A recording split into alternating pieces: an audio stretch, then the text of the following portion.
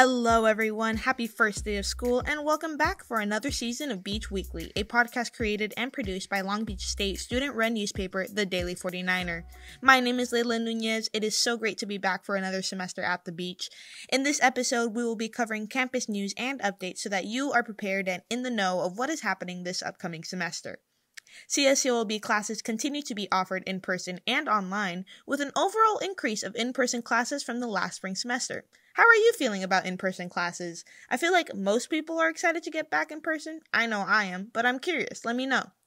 All right, and without further ado, here's everything you need to know about what's going on on campus to start off the fall 2022 semester. Let's go.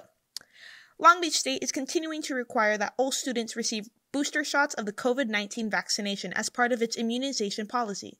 Per the university website, all students and non represented staff are required to receive a booster shot six months after their final dose to be considered fully vaccinated. Those with a valid vaccination exemption or who are not fully vaccinated must participate in the campus's COVID 19 testing program. Student Health Services is continuing to administer both testing and vaccinations on campus. Additionally, face coverings will continue to be enforced in classrooms, labs, the Student Health Services Clinic, public transit, office settings, and child care centers.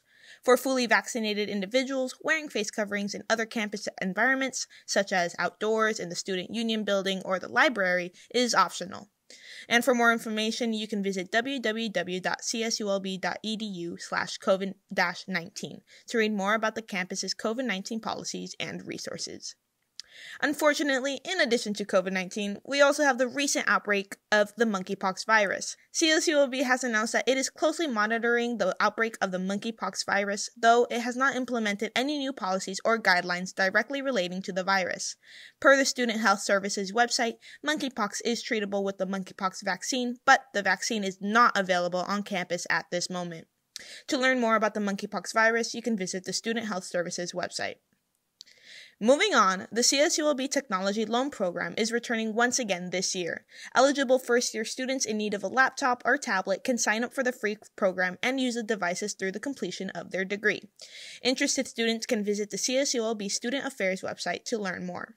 Also, CSULB's Division of Information Technology is working on expanding outdoor Wi Fi on campus. Following the onset of the COVID 19 pandemic, the university introduced Wi Fi availability in more outdoor spaces when in person classes resumed in fall 2021. Students can access Wi Fi on the Student Union patios, the Nugget patio, the Maxson Plaza, and the first floor of the Palo Verde South parking structure and the university plans to expand its Wi Fi coverage throughout this academic year. I am for sure looking forward to this. As you may have noticed already, the university's move from Beachboard to Canvas is well underway. The university is continuing to utilize both Beachboard and Canvas throughout the 2022 2023 academic year and plans to move completely to Canvas in fall 2023. However, many professors are already opting to use Canvas this semester. Make sure to double check whether your professors are using Beachboard or Canvas this semester to avoid any confusion. Long Beach State has launched a new mental health initiative through the Student Affairs Division that takes a more holistic approach to students' mental health treatment. The initiative includes many new strategies, including engaging with the family members of students who are experiencing mental health distress, introducing a text message forum for mental health support, diversifying staff and peer mentors, and having social workers respond to mental health emergencies alongside campus police. Next, let's talk about sports. Current Long Beach State Athletics Director Andy Fee will be leaving the beach on August 26th and heading for the University of Washington. Fee, who has served as LBSU's athletic director since April 2017, announced his departure from the beach on August 8th. LBSU's women's soccer season began against USC yesterday resulting in a 1 0 loss for the Beach. They play again this Thursday at home against San Diego State. And lastly, LBSU's women's volleyball season begins on Saturday in the Portland State Tournament. Go Beach! And don't go yet. Here are a couple more things to look forward to this semester.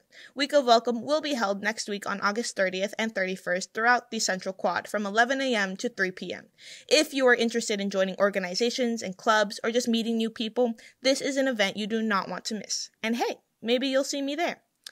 That is all for campus news. For these and more stories, head on over to daily49er.com where you can read up on the latest news as well as check out the rest of our multimedia content. Also, give us a follow on our socials at daily49ers to stay updated on what's going on on campus. Thank you so much for listening. I hope you start the semester off well and have a good one.